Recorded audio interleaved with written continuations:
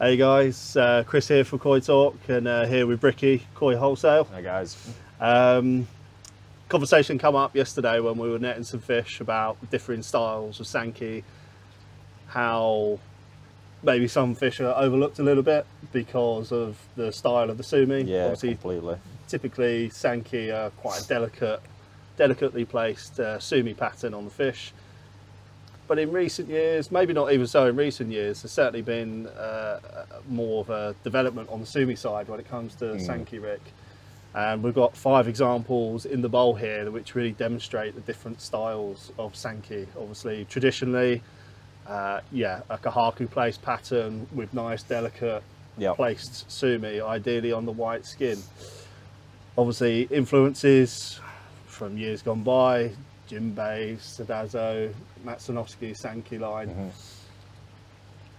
Is Sanke evolving? Uh, they're an interesting one. Mm. I, I know most people, hobbyists or dealers I, I bump into, always say I don't understand Sanke. Mm. I, I hear it time and time and time again, and for me, yeah, they're probably the most elegant of the three Go Sanke, but Yeah. probably the hardest to, to really get right as well. And the style, the style is a big a big part of I think people's preference whether they like them, don't like them.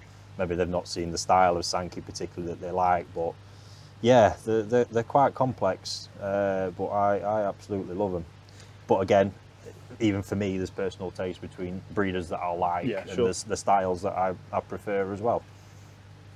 Well, I think uh, years ago, I think uh, one of the breeders said to me that you know there's not a bit like a Kohaku, there's not a lot for anything to hide on the Sanke. No, So when it comes to placement, uh, we're, we're mostly focusing on a pattern aspect o- on today's video. yeah, yeah, Um, so the heavier style Sumi, uh, you know, it's almost discounted immediately. You know, and obviously the style, the body style that Sanke tend to grow, getting this this this length on the fish. yeah. Do you think a lot of fish are sort of turned away because they're not so traditional? Uh, They're not given the time. You know, yeah, I, I think I think a big a we've got in big thing bowl. with Sanke for a start is is time. There's, the Sumi plays a huge part, uh, and young Sanke. What you tend to get in a lot, depending on the lineage, again, it, this is where it's going to obviously get technical, uh, but you can get in particular lineages a lot of baby Sumi. So that can be where you're looking at a tosai that could have quite a lot of Sumi sat on it. You're possibly looking at it thinking that's going to be too heavy, uh, or it's just not going to be the, you know, kind of fish you expect when it gets bigger. You grow it for, for six or eight months in a mud pond, it sticks on 20 centimetres, and all of a sudden it gets harvested and no Sumi. And that throws everybody. Yeah.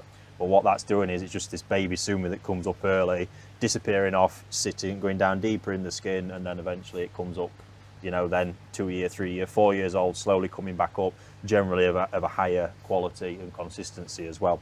So, not that that's particularly happened, but that's more of uh, the traditional sort of style of Sanke, like uh, like these two, really. And, and that one, that's probably sitting somewhere in between. If we focus on these two, you know, certainly this one here, that typical Sanke. I can't remember these when they came in. Bearing in mind I've raised these this summer. Uh, they arrived with me back in April. Um, I think they were about 13 to 15 cm overall. So there has been pretty huge growth realistically. Uh, but yeah, this this is that typical. Again, I can't remember if they were sat heavier, but I probably probably expect there possibly was a bit more sumi showing when these were bigger. It starts growing. It just sits down a little bit in the body. Uh, and then as it's as we see it now, this is actually the, the re-emergence of some of this because they've, we've been conditioning them uh, just of late.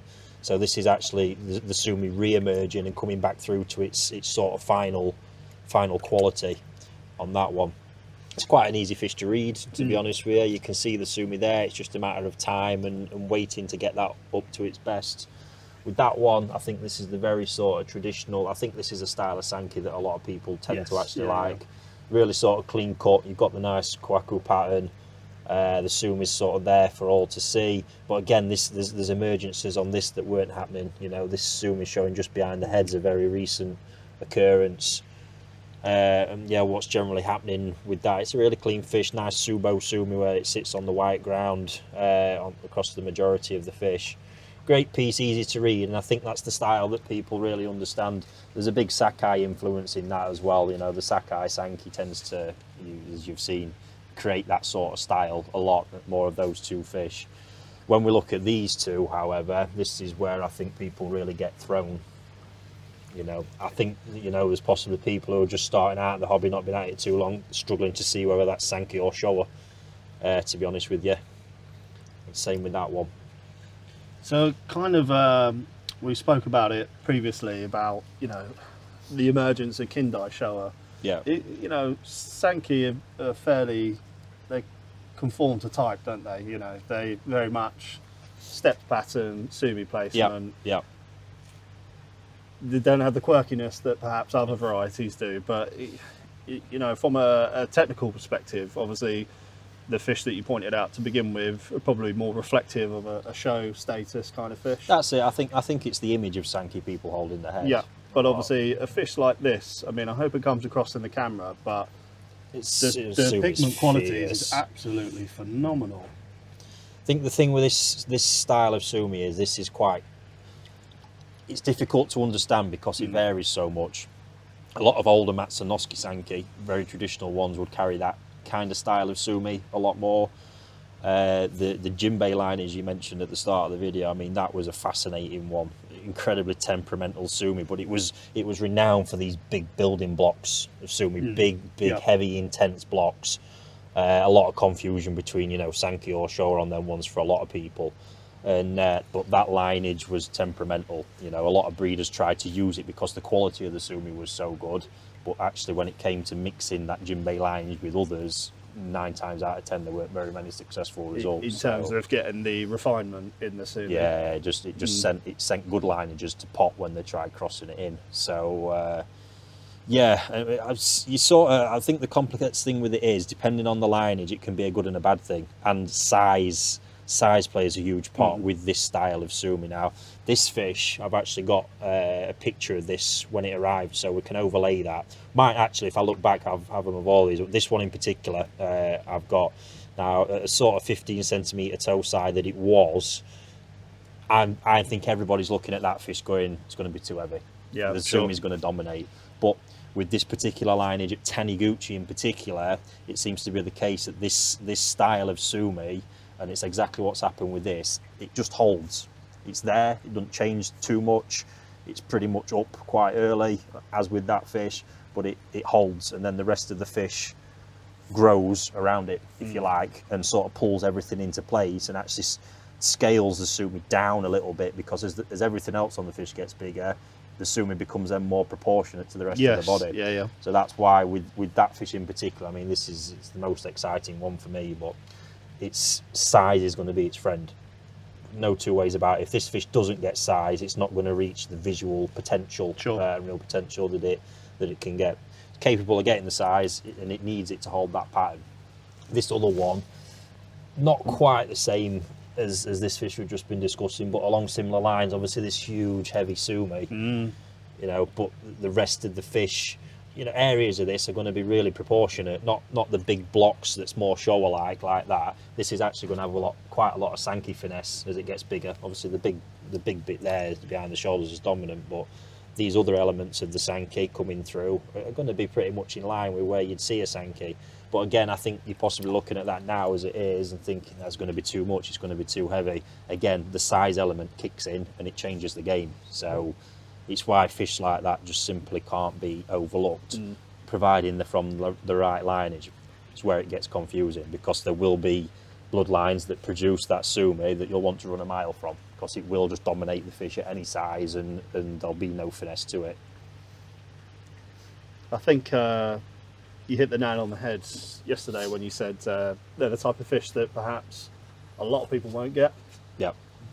Uh,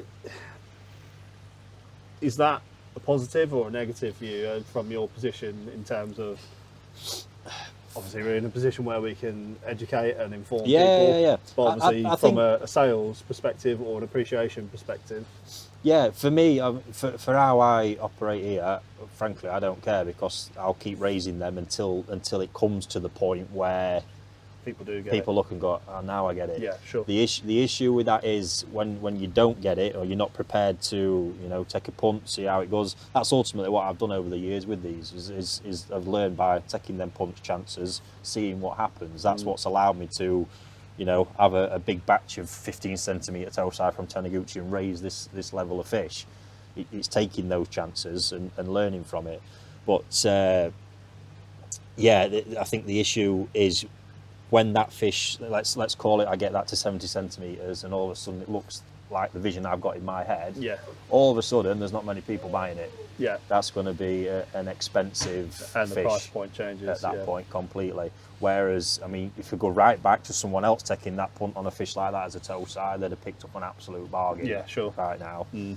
uh, even right now, to be honest, I'm not particularly looking to sell it right now. But if I did, obviously the price now is still going to be very different to what it would be potentially be in, in Yeah. two years. So I think you know that's an issue across a lot of varieties. Mm. Full stop. Uh, it's appreciating, but I think people just don't understand what that sumi does. And yet you're right, the knowledge isn't just out there and readily available. So you know, hopefully we can we can do a bit to, to enlighten people a bit more to take advantage of finding small fish like that that are out there. Yeah. So from um, there'll probably be a lot of people watching this at home thinking, you know, it's classic. Pick the best one out of the bowl. Yeah. It means different things at different times. Obviously, Yeah, yeah, are yeah, we picking for now? Are we Yeah. picking for the future? Yeah. Um, let's just say, I think you might have answered it already, but let's just say if we're looking for uh, a, a potential show fish moving forwards that has the, I don't think, think we're probably both in agreement, none of these fish are finished. Yep. So if we're looking for something in the future, Yep. which one? Uh, I think you're potentially looking al- along the lines of these two. Obviously, we've not discussed this fish yet, but I think again it depends where you are. You know where they're being judged as well, I suppose, because tastes will differ Yeah. slightly. But you know, from a technicality standpoint, I think that's very desirable. This this one's still got a lot to do. It's it's quite a raw fish. You know, there's a lot I've noticed. We've got some. It's got the big sort of heavy block of sumi in that pec fin again, which can be confusing because it looks like Motoguro, which it's not. We've now got sumi starting in this pec fin, which is quite interesting. But if we look at the body of that fish, I mean, it is it is the body yeah. champion in the bowl. It's Mm. it's a powerhouse. The, the skin quality seems to have elevated to another level Yeah, the shiroji on the fish well, is yeah. significant. but there's still so much to do. Uh, you know, size wise, it is going to dominate uh, in, in that respect. So, I think yeah, you're possibly looking along them lines. But again, this one shouldn't be discarded because the, the vision in my head of that fish, by the time it does reach a considerable size, it's just going to look look phenomenal. No two ways about it. So I think when we come back to this fish, guys, obviously what you'll notice is that as the fish gets bigger, the body is going to essentially do this. So the the white areas on the fish are going to become a little bit more prominent. Adds to that balance, I guess, Exactly. Rick. Yeah. Um, so for those of you that, again, I think it's probably going to be fairly across the board, Rick, that people aren't don't really get this type of fish. No, and I think there's other little things as well. Obviously, you can see Sumi sort of the around the head yep, yeah, yeah, region. yeah. Again, that's absolutely fine with Sanke. I, uh, you know, I, I don't know where that came from. I think it's beyond before my time, but uh, in modern day Sanke, it's quite normal. Like Mm. to have the big heavy Sumi in the fin. Again, we've seen it time and time again. To be honest with you, it's it's all perfectly acceptable. Again, ultimately we're coming down to is looking at the overriding quality of the fish and not and not the silly little things that I'd say you know Yeah. draw, draw people yeah. in. You know, it's like that one. You could quite easily look at it go, "It's got two red eyes." Who gives a monkeys? Just look at the fish. And know, obviously- I'm, seeing everything else before two red eyes. Yeah. that does, in fairness, Rick, that does take time. It does. Um, I'm completely with you. It's, you. You basically have to uh, learn yourself to Yeah, to, yeah. to look at fish in a completely different way. And obviously, from a relative perspective, you know, don't get me wrong, these aren't cheap fish, No. but these aren't sort of uh, No, no, they're not crazy. ridiculously Not crazy priced fish it, for the quality. No. no. Great pieces. Yeah, I think so. Yeah, uh, say just going, we're not really spoke about this one, but I think this has got really the balance of everything coming towards it. I mean, we've got absolutely phenomenal skin quality. mm, this is uh, probably what people are a little bit more. Yeah, yeah, that's it. Really of- balanced Beni. We've got Sumi forming, you know, some nice areas of Subo Sumi in there as well, and it's just it's just a superb piece. body line's exceptional. You really look, even you know, they're all got good bodies, different bodies as well. To be honest with you, you look at that one, it carries itself so well. You can see it's going to be the the size champion out of the bunch. Yeah, yeah, of course, and it, it carries carries the pattern. It does well. really well, and again, size is gonna is gonna change. gonna that work with well. it, yeah. for sure. You're gonna have this intricacy when the fish again the body increases. Yeah. Obviously, a refinement on the Beni pattern. Sashi is going to tidy up. There's Yeah. no real concerns there. No, Um, so yeah. great fish. And in terms of, uh, we mentioned these fish all from Taniguchi. Yes. I mean, we both, you know, how many times have we uh, drooled Top- over yeah, I know, Taniguchi fish? I, know, mean, it's place. it's uh, a little gem. Uh, uh, quality seems to be the overriding. He is. I mean, for me, for me, it's obviously set out in Hiroshima. Uh, I'm not sure. That, I think there's a good level of awareness of, of Taniguchi over here in the UK now. His, I mean, his fish have been around for a long time, but for me, since I've known the guy, his his skill at selecting parent fish has always blown me away. His knowledge of bloodlines, Yeah. you know, and that, that is what you really see come come through in the offspring.